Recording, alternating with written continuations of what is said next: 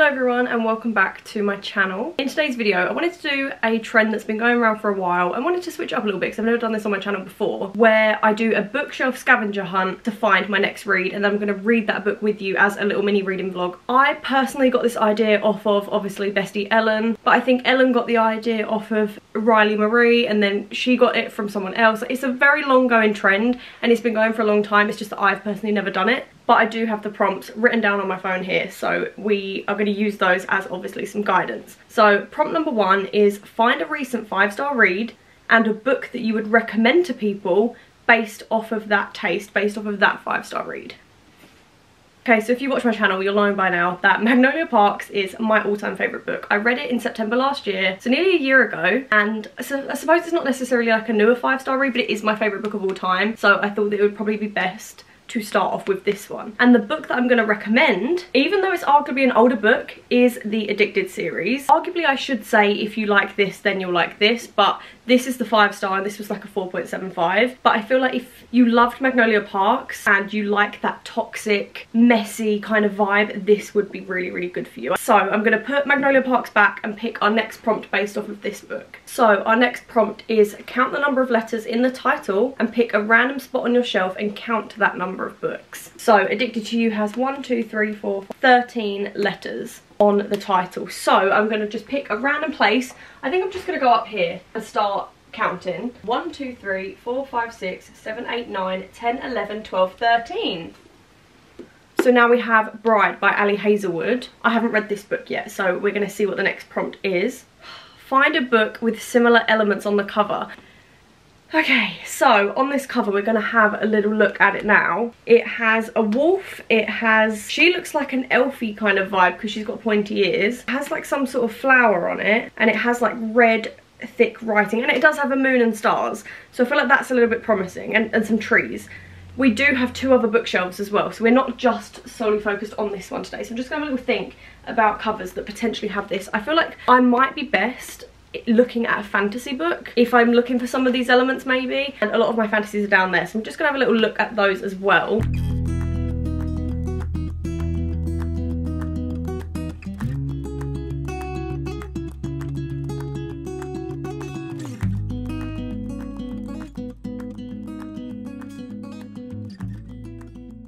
Okay, so I have these three books here. Obviously we have Bride, which is what we're like basing this off of. This one has cutie little stars on it. But obviously Bride does have the big row of like foresty trees at the bottom. And I feel like that's a bigger element than the stars. So if I was to base it just off of the trees, we do have Unravel Me by Becca Mac. So I think I'm going to go for this one because the trees seem to be like a more significant element in the cover alongside both. And they're even both along the bottom. I feel like obviously the covers are completely different. But the trees are in the same place and I feel like it just suits the vibe. I don't know. So I think I'm going to go for this one. Our next prompt is to reverse the page count and find a book with a similar page number. So I feel like this one might be a bit easy because I do have some quite big fantasy books. This book is exactly, oh, 503 pages. That has done me dirty because now I need to find a small book because I need one that's 305 pages if we reverse it. 503 which means we need to find a book with 305 pages. When I was reading this book, I can remember it being around the 300 page mark. Look how ruined this book is, by the way.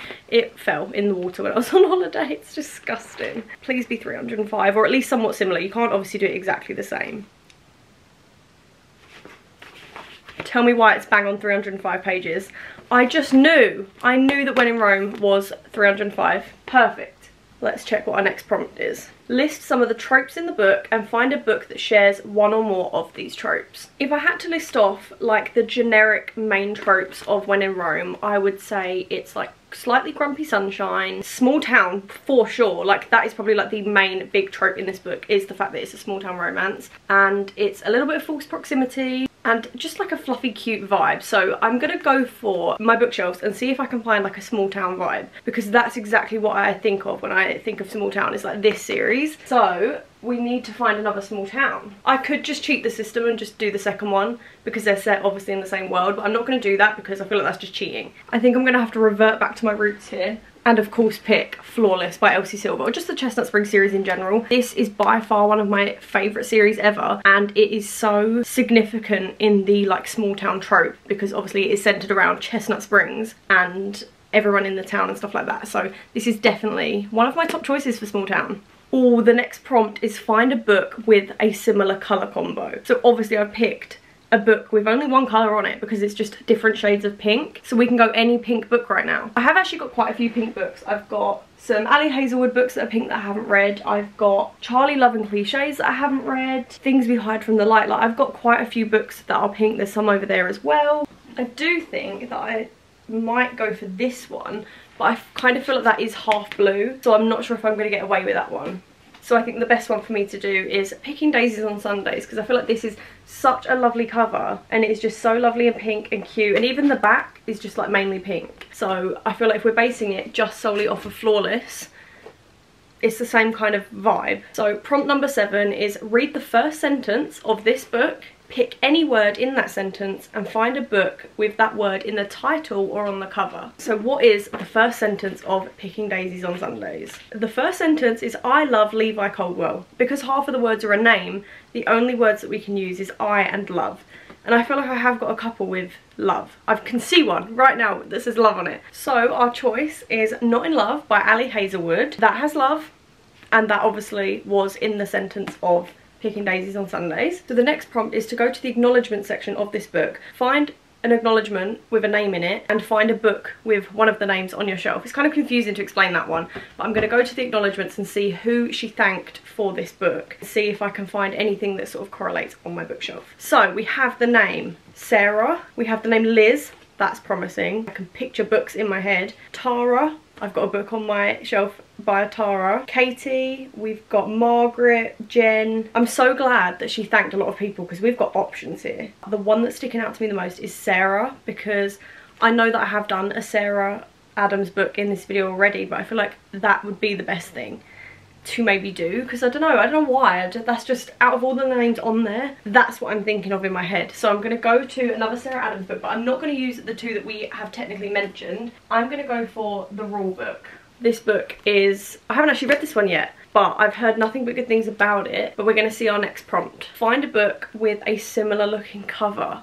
I'm really glad that I picked this simply because I just feel like this is quite a generic style of cover. Not only is it a cute cartoon, it's also beachy and I do have quite a few summery beachy reads. I'm just trying to look for all my beachy books because I know that I have a few.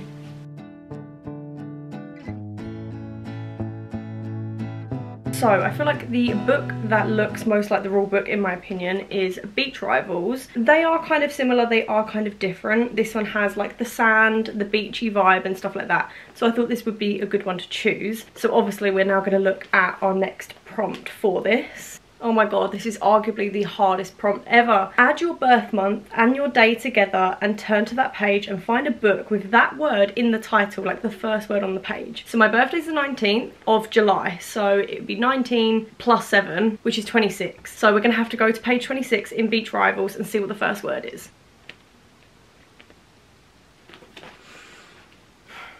The first word in Beach Rivals is if on page 26. Just if and I'm trying to think if I've got something on my bookshelf with if on it because that was the last prompt which means that I'm going to have to find a book with the word if on it and that is going to be the book we read. So, drum roll to the book that we're going to be reading in today's reading vlog, and that is If We Ever Meet Again by Ana Huang. This one has the first word of page 26, out of Beach Rivals, and it actually correlates with quite a couple of the prompts that we've done in this one. The sky and stuff like that, it's pink. We did a whole thing about pink prompts. So I feel like it is quite fitting, and that is what our scavenger hunt has led us to. So this is what we're going to be reading in today's reading vlog, and it's fairly short and sweet. It's an author that I know and love, so I'm actually quite looking forward to this. I wasn't hoping on starting a new series. I'm going to be honest with you, I did not want to start a new series, but we will see. I've heard nothing but good things, so you will now see me read this book. Oh my god, that's so hot. Hello guys, I haven't spoken to this vlog since yesterday, which is nothing unusual. I don't know why I'm telling you that but I have officially started our book for this video which is If We Ever Meet Again by Ana Huang. I feel like I didn't really introduce it to this video because I just assumed that because it's Ana Huang you kind of all know who it is but this is the author of the Twisted series, the King of Sin series. She's a very well famous and well known author so I don't know why I'm even explaining that to you but I feel like this is more of one of her more unpopular series. Like, don't get me wrong, still very popular. They were in the works for quite cheap as well, so like you've probably all seen them, but out of all of her books, this series is probably the ones that I would think of the least but I love the Twisted series so I do have some high hopes for this. I am currently on page 59 so I started it when I got home from work today and it is currently nearly 9pm so I have a little bit of time now to just sit and read this book. I was going to try and binge it in like one sitting and just see how that goes because I do have time as I said to, to read it tonight but I think I'm just going to try and see how much I can physically read up until the point where I want to go to sleep. And it is a fairly short book as well it's literally like under 300 pages. But obviously as I said on page 59 I will say my first impression of this book isn't anything crazy. And I'm trying to think of a word that I can use. I had a really good example of the word in my head earlier and now I can't think of it. It's like a little bit better than meh but still not great. I'm not obsessed with it I won't lie to you, I'm not excited to read the rest of this book. I'm not like, oh my god, I can't wait to finish it. But I'm also not not enjoying it at this very point. I feel like I just need the story to set up a little bit, to get to know the characters a little bit more. Our two main characters who meet in Shanghai when they study abroad for a year. I think from what I've heard of it, it's sort of like they're in the same kind of friendship group but they don't really like each other or they have like mutual friends. They don't really like each other and then obviously then they start getting to know each other and stuff like that. But as I said, fairly short so not 100% sure like the pacing and stuff like that of this book. But I have my tea and book sweatshirt on from Literature Stitches and my tea. This is literally iconic. This is how I live the majority of my nights. That has cooled down a bit now, thank God.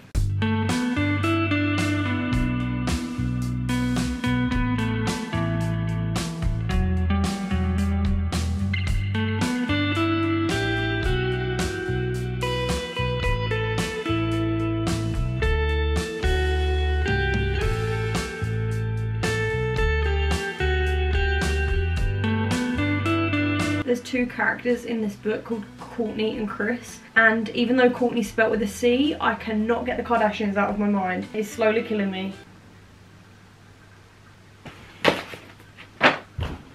I can't. I literally just can't do this. I'm on chapter 14 which is like over 100 pages but not the point and the book literally just said that he is in love with her. They've known each other for three months. Not that that is like an unrealistic standard but come on, give me more. Give me time to grovel. I feel like I just haven't even, I haven't even chance to get to know these people yet. And they're already confessing their love in their own minds. What is the point in the second half of the book then?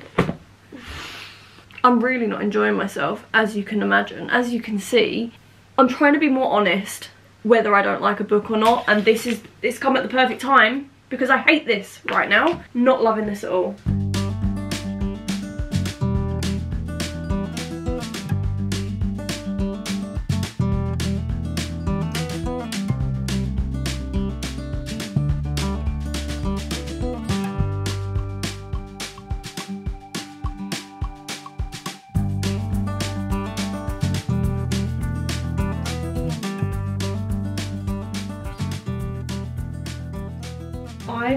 I've sat and read up to page 220. I feel like the only reason that I've read this so fast, and I'm going to be real with you, is because I want it to be over. I do feel like I'm hating on this book a little bit too much, but I want to be a little bit more on it with myself, with being honest with my reviews, because I'm not going to sit here and lie to you and say that this book is that enjoyable. Like, I can see why some people like it and I can see why some of my friends consider it some of their favourite books like and I love Ana Huang so this is in no way me disregarding her work or her as an author or her as a person because the Twisted series, they were some of my favourite books last year. I didn't rate one of the Twisted books lower than a three and a half to four star. I loved those books and I feel like the reason that this isn't hitting for me is one because it's third person which I forgot to say at the start it is third person so it's a little bit different from her other writing. I feel like I've gone into it with the expectations thinking it's going to be like the Twisted series and it's not. Oh my god, my cat is literally staring, well not my cat but our family cat is staring at the tripod.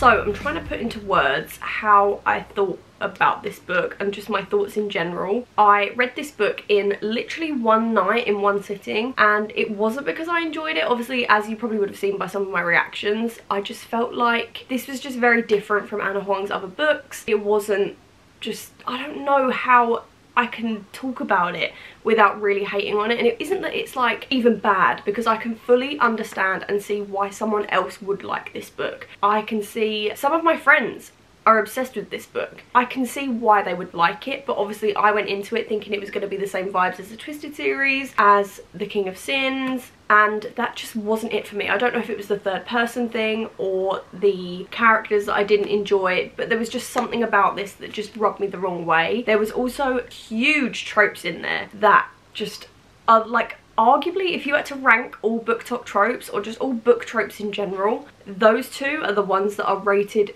like everyone's least favourite and what did Anne do?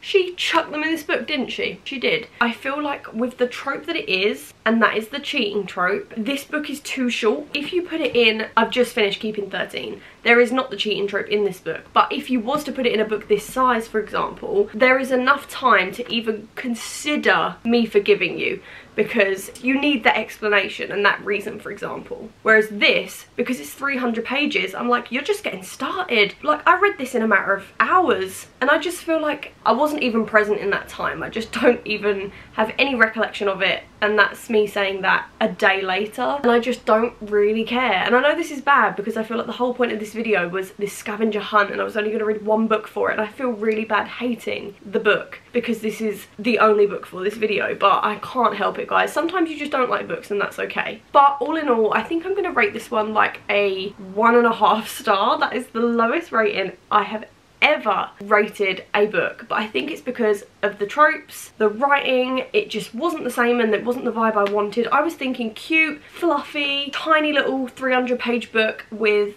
a cute pink cover like hello with an author that I know and love but it just wasn't it for me and that's okay so I do apologise guys but that is everything for today's video. Very, very sorry that I hated the book, but here we are. But if you like this scavenger hunt thing, then I definitely will do it again in the future because I found it so, so fun to actually do. But just keep me posted and I can do another one. But I love you guys lots and I will hopefully see you in my next one. Bye.